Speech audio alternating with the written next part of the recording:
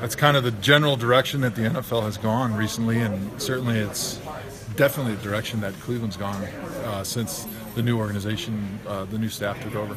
But doesn't it seem like uh, they, they're saying, well, we're building, we're not going to win this year. We're going to win in the future. And for you in your tenth year, how do you get fired up for the season? Yeah.